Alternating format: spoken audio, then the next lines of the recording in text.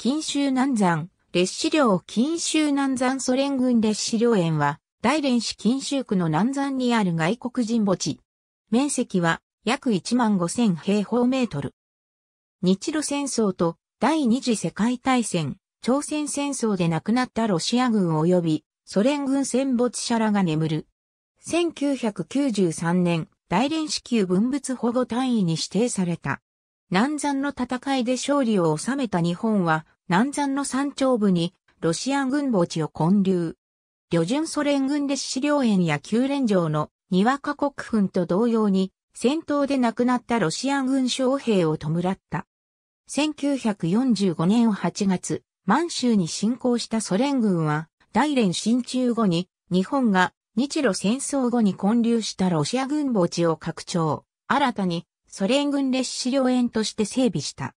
園内には第二次世界大戦及び新中期間中に亡くなったソ連第39軍の兵士とその家族、朝鮮戦争に参戦したパイロットら1000人余りを埋葬している。そのうち、左官が7人、一官が84人、女性軍人が14人。朝鮮戦争後の1955年に埋葬を終了。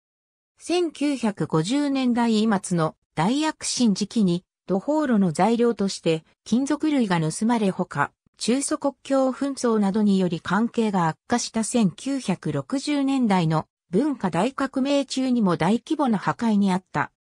1993年、南山戦石碑市や近州場外車用に立つ、地市など、南山の山頂部の南山美にわか、戦争石とともに南山ロシア軍墓地が大連市級文物保護単位に指定される。2013年から15年、ロシア連邦の経費負担で修繕。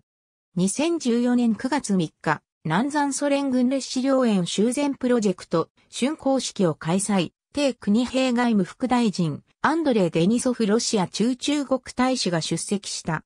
旅、欧中蘇友好協会の募金により1949年3月30日に大連スターリン広場に建立された。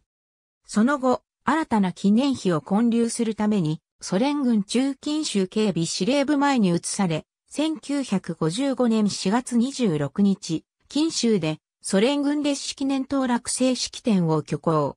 2004年秋、南山ソ連軍列資料園前に再度移設された。花崗岩の石板上には、中国語とロシア語で日本帝国主義を打ち負かすために、英雄的に犠牲となったソ連軍列士は永遠に不滅である。1945年の文字が刻まれている。南山にわかバカ。大金州真空博物。2020年4月30日閲覧。外交部副部、帝国兵出席年功日、総列士、大使金州区南山。列資料、おさむ皇帝春光、式、中人民共和国外交部、2020年4月30日閲覧、大使金州区、列市年頭、ロシアンエンバシーインチャイナ、2020年4月30日、閲覧、ありがとうございます。